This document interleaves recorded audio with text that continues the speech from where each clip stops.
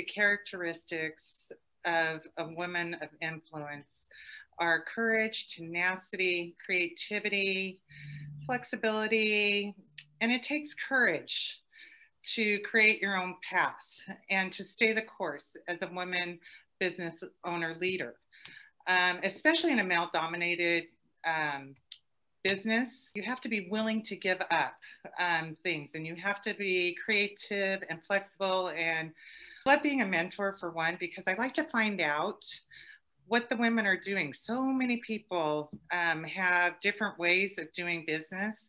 And I have to tell you, I really enjoy calling these women, finding out what they do, looking at their websites, thinking, wow, do I have any customers that could use their business? Um, or do I know any other women that I could hook them up with that maybe they can become partners?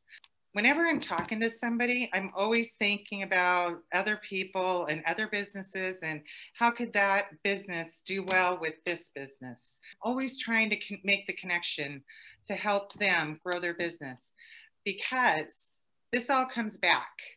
Whenever you help other people, which I always feel amazing when I can make a connection. Um, I've got a bell in here that I ring whenever I make a connection. It's just, it just makes me feel so good.